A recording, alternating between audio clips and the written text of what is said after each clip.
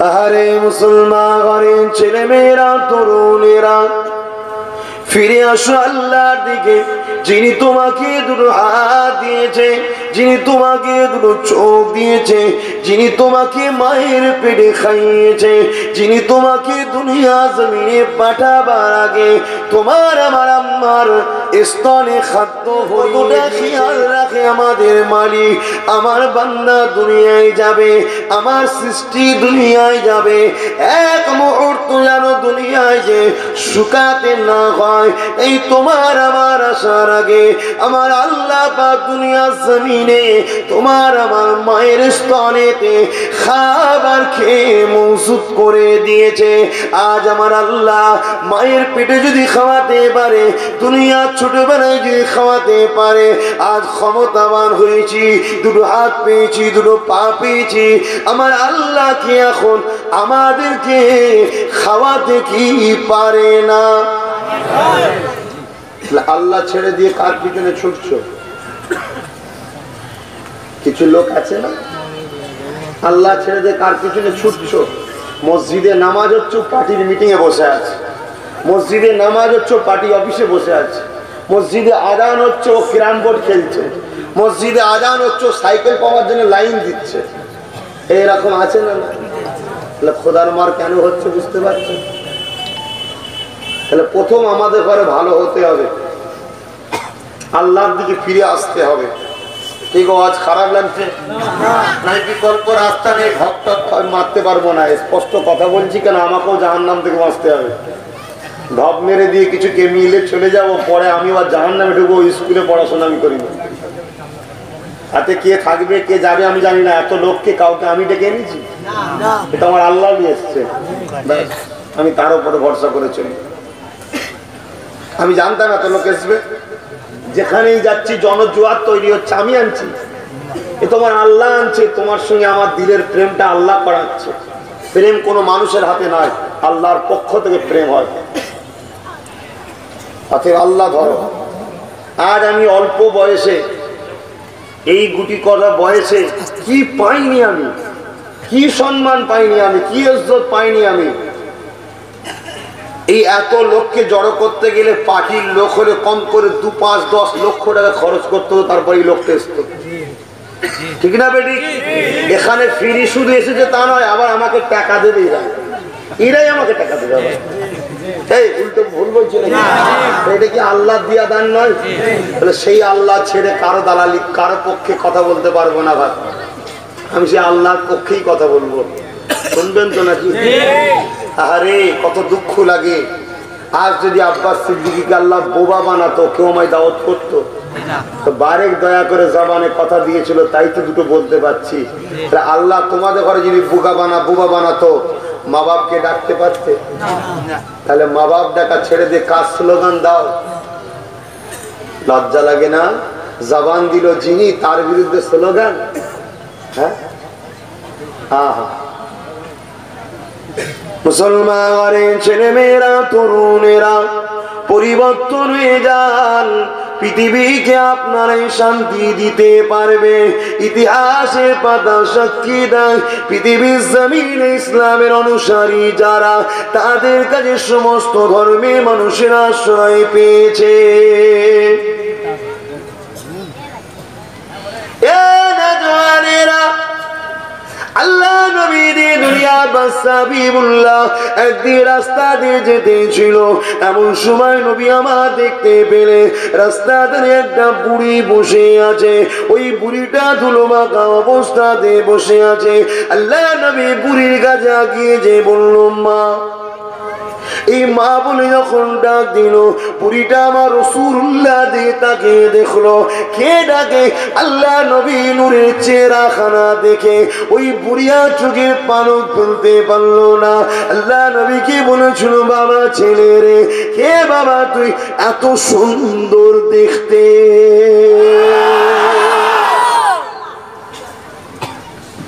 এ যুবকেরা, আল্লাহ আপনি যখন আমাকে ছেলে বলেছেন আলী, আপনি অবশ্যই আমার মা হন। আপনি আর আমি ছেলে একটা মনে করে। ওই সময় বুড়ির জুয়ে পানি এসে যায়। বুড়ি বলেছিল, বাবা, ছেলে রে, কোন মায়ের পেটে তুই এসেছি, বাবা রে?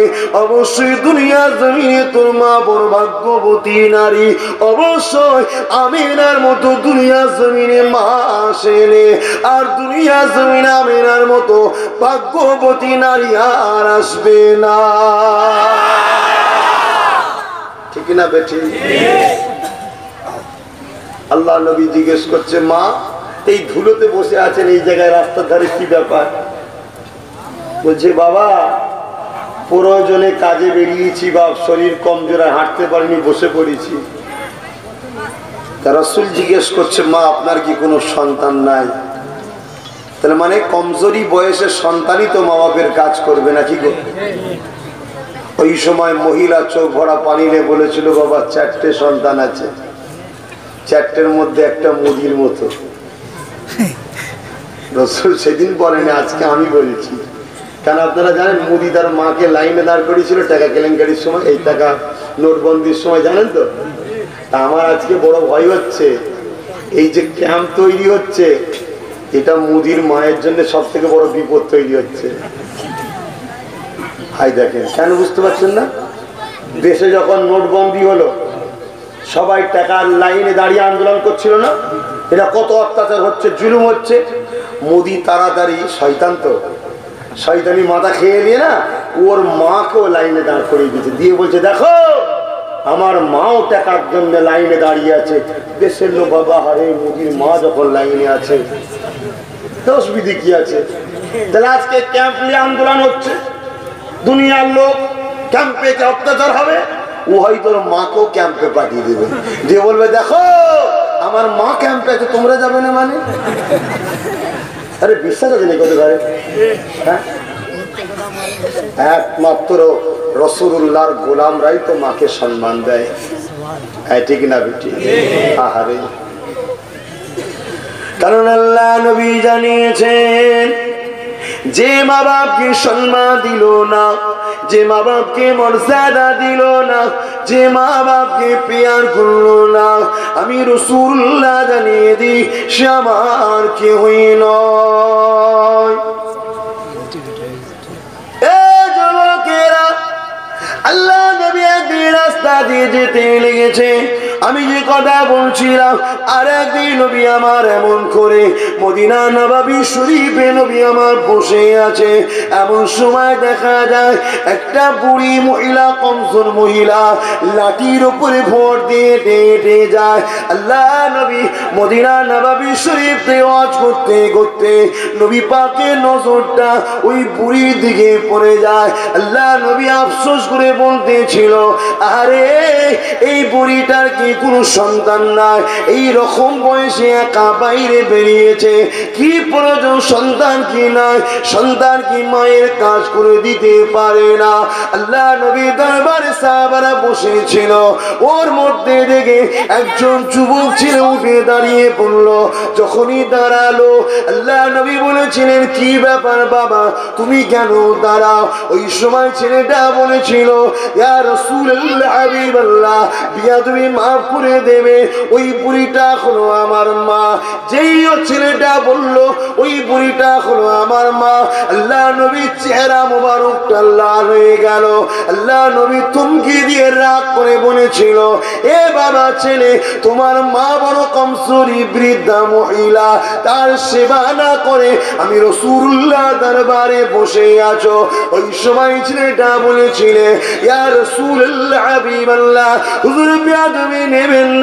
আমি আল্লাহকে মেনে নিয়েছি, আর আমার মালা তুজার উপাসনা করে।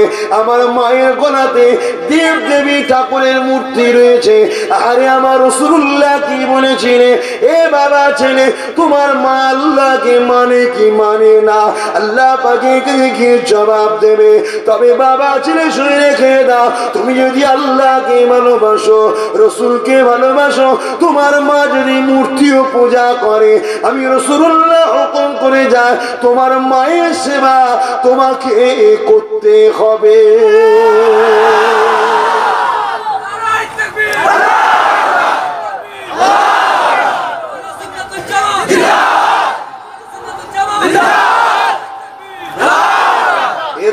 ইসলাম।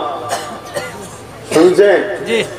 তোমার মা আল্লাহ মানে নে, সে জবাব দেবে আল্লাহর কাছে। তোমার মা হয়, তোমার মায়ের সেবা তোমায় করতে হবে। আজকে মুসলমান দাবি করবার মাকে যদি না দেখি, তাহলে খোদার গজব তো হবে। আজকে সমাজে কত মায়ের চোখে পানি পড়ে জানেন? সমাজে কত বাপ কাঁদে জানেন? ভাবছেন, আমি তোমার মাকে মারিনি, আমি তোমার বাপকে কাঁদাইনি, আরে তোমার পাশের বাড়িতে হচ্ছে তো। সমাজে পাপ যখন আসে, খোদার গজব যখন আসবে, শুধু কি তোমার বাড়ি ছেড়ে দিয়ে আসবে মনে হচ্ছে? হ্যাঁ? আমাদেরকে ভালো হতে হবে। মা বাপকে দোয়া নিতে হবে। মা বাপকে পেয়ার করতে হবে। শুনছেন তো নাকি? সবটা গোড়া বেঁধো। কোমর বেঁধে নাবো, সব ঠান্ডা হয়ে যাবে। আর কোমর তোমার যে লজ গজে থাকে, তোমার ঘরে বলছে, আল্লাহকে ধ্বংস করো, তুমি রাস্তায় যতই মস্তানি করো না কেন, তোমাকে আল্লাহ ঠিক সাইজ করে দেবে। আর তোমার ঘর থেকে যদি বুড়ো বাপ মা বলে, আল্লাহ আমার বাচ্চাকে হেফাজত করো, পৃথিবীর কোনো শক্তি নেই, তোমাকে ছুঁতে পারবে, কেন বন্দুকের গুলি মিশ হতে পারে, মায়ের দোয়া মিশ হয় না। জোরে বলে বুঝতে পারে খারাপ লাগে কি চিন্তায় এসেছেন আপনারা তো আমি জানি না। তো বলব বলব, দেশের যে হাল বলব। তবে এটাও শোনো এটাও শোনো, ভালো মানুষ এক গাদা খারাপ নিয়ে গয়লা গোল ভর্তি করে লাভ নেই, ওই গরুর লাঠিতেই মরতে হবে শেষকালে। ভালো একটা থাক, ওই ঠিক আছে।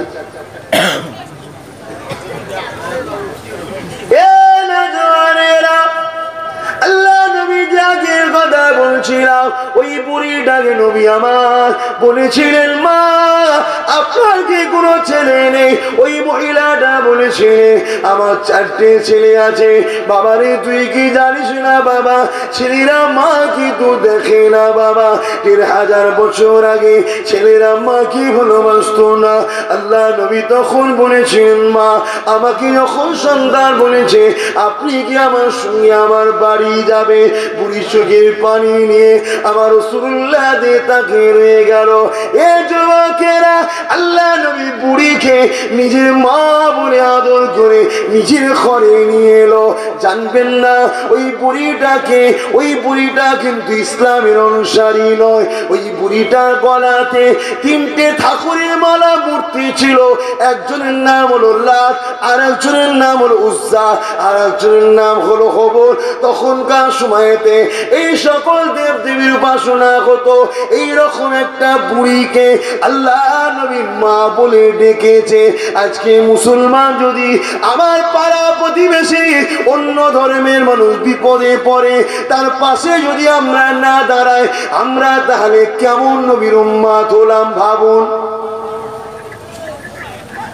পারবেন?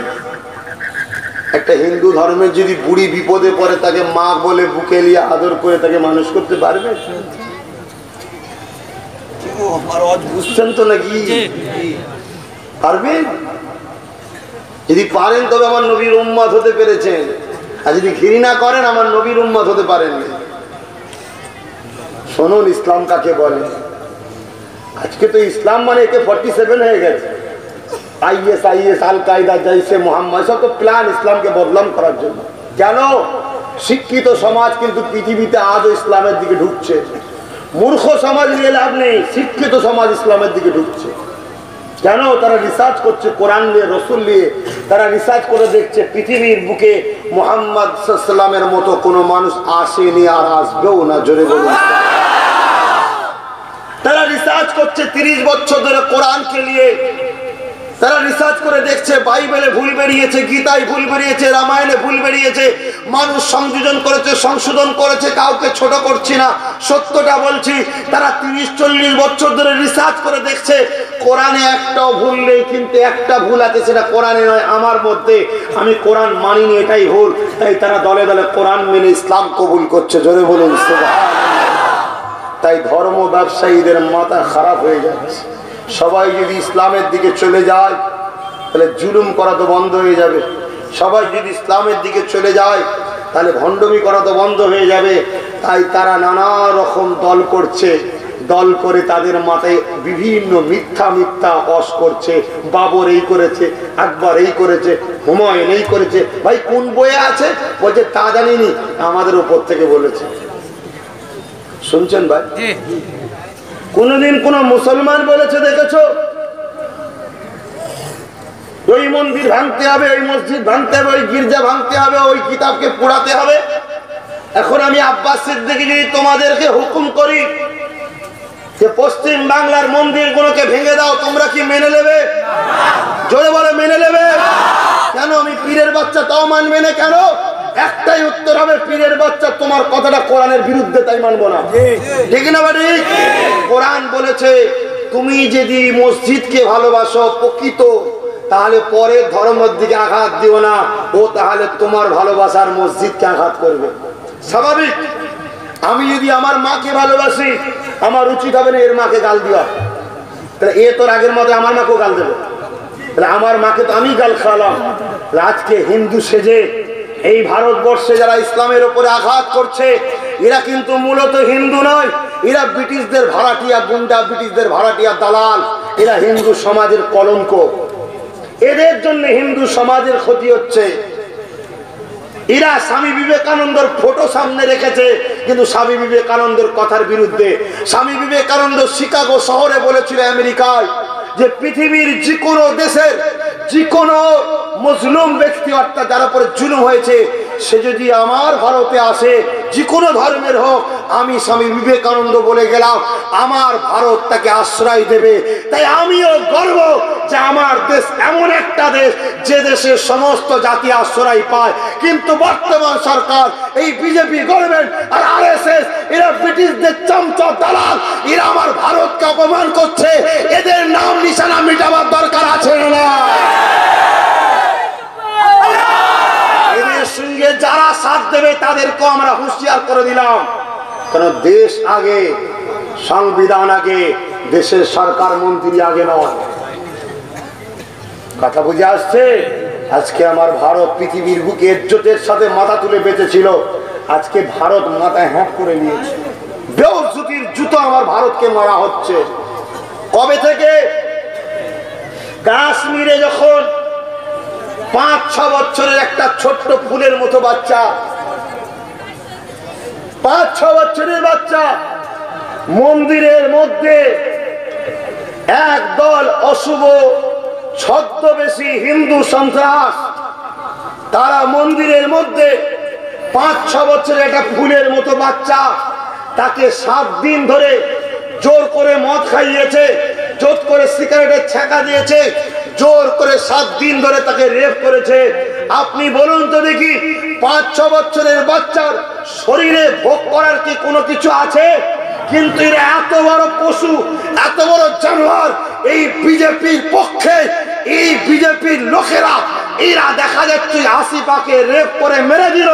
উপরন্ত বিজেপির দু তিনটে এমএলএ, এমপি, ওই ধর্ষকদের পক্ষে আবার আন্দোলন করে বলেছে, ঠিক করেছে, কেন আসিফাটা হলো মুসলমানের মেয়ে। শুনছেন ভাই? এরা কত বড় জানোয়ার বুঝতে পারছেন? এরা নিজের মাকে ছাড়বে না দুদিন পরে। যখন সব মেয়ে রেপ করা হয়ে যাবে সবাইকে যখন মেরে দেবে আমার ভয় ভাই এরা নিজের মাকেও ধরে দেবে কারণ অভ্যাস যার চরিত্র খারাপ হয় সে তখন মা বোন বেটি বোঝে না। আর ঠিক না বেটি? না হয় ওইটুকু আসিফার মধ্যে তুমি মুসলমান দেখছ? হ্যাঁ? আবার বিজেপির লোকেরা তার পক্ষে দাঁড়িয়ে আন্দোলন করছে। তাই এখানে হিন্দু ভাইরা আছে কি জানি না? কেন একটা সমাজে প্রচার চলছে বিজেপি মানে হিন্দু প্রেমিক। বিজেপি হলো হিন্দুদের দল। এটা প্রচার চলছে না চলে অত্যন্ত মিথ্যা কথা। বিজেপি সব থেকে বড় ক্ষতিকারক হলো হিন্দুদের জন্য। কেন মুসলমান জীবনে বিজেপিকে সাপোর্ট জোরে বলুন। যদি বিজেপি দেশের ক্ষতি করে বদলাম তাহলে হিন্দুদের হবে। ঠিক না বেটি? হিন্দু ভাইদের আন্দোলন করা দরকার। আমরা বিজেপির পক্ষে নয় বিজেপিকে মুছে দেওয়া দরকার। কেন বিজেপি আমার দেশের জন্য ক্যান্সারের থেকেও খারাপ। এবার একটা কথা হতে পারে আপনি তো বেশ অজ করছিলেন আপনি আবার হঠাৎ করে দেশে চলে এলেন কেন? হাই রে আল্লাহ, কি গো, বলব না বাধ্য দেশের কথা বলা যাবে না? আল্লাহ নবী দিন দুনিয়া বাদশাহ হাবিবুল্লাহ। তিনাকে আল্লাহ পাক মনুষ্য জাতির জন্য পাঠিয়েছিলেন। নবী আমার শুধু মুসলমানদের জন্য নয়, আল্লাহ নবী যতটা মুসলমানদের, আল্লাহ নবী ততটা হিন্দুদের, আল্লাহ নবী যতটা মুসলমানদের, আল্লাহ নবী ততটা খ্রিস্টানদের। এক কথায়, নবী আমার মানুষ জাতির জন্য এসেছিলেন। কোরআন শুধু মুসলমানদের জন্য নয়, কোরআন নিজে জানিয়ে দিল হুদাল্লিন নাস মানে মুসলমান নয়, নাস মানে কোনো মানুষ মানুষ জাতিকে হৃদায়তের রাস্তা দেখাতে কোরআনকে আল্লাহ পাঠিয়েছিল। এ যুবকেরা, তরুণেরা, আল্লাহ নবীগণের সমস্ত মানুষের জন্য শত সে নবী, শত সে রসুল, শত সে শিক্ষক, শত সে আওতা শত সে মেসেঞ্জার, আল্লাহ নবী এসেছে সবার জন্য। যে নবীকে রসুল বলে মেনে নিয়ে নিজের জীবনটাকে নবীর আদর্শে চলায়, সে হলো জান্নাতি, সে হলো মোমেন মুসলমান। যে নবীকে মানল না, নবীর আদর্শকে মানল না সে কিন্তু গায়ের মুসলমান। এ যুবকেরা তরুণেরা, আল্লাহ নবী সবার জন্য নবী নবী আমার যখন মক্কা জমিনে সত্য দাওয়াত দিতেছিল, আল্লাহ নবীর বিরুদ্ধে তৎকালীন সময়ে মোদির মতো, তৎকালীন সময়ে নরেন্দ্র মোদির মতো, অমিত মতো, তৎকালীন সময়ে যারা ধর্ম ব্যবসায়ী ছিল, সন্ত্রাস ছিল, তাদের নাম ছিল এরা আমার নবীকে মক্কা জমিন থেকে জুলুম করে জানে মারতে চাইল। নবী, খোদা মক্কা ছেড়ে দিয়ে যখন লাগল, এ বলে শোনো। নবী বারবার নিজের মক্কা তাকায়, নবী আমার পানি ফেলে ফেলে কাঁদে। আর নবী আমার বলে, এ আমার মক্কা, আমি তোকে বড় ভালোবাসি। তাহলে আল্লাহ নবী যদি নিজের দেশের জন্য কানতে পারে, তাহলে সেই নবীর উম্মার দাবি করব, আমি আমার দেশের ভালো মন্দর জন্য লড়াই করব না? তবে তো আমি মুসলমান। দেশকে যদি কেউ প্রকৃত ভালোবাসতে পারে, রাগারাগি করলে হবে না, জোর দেখালে হবে না। সত্য কথা হলো, মুসলমানই পারে, মোহাম্মদ রসুলের মান্য ওনারাই পারে দেশকে ভালোবাসতে।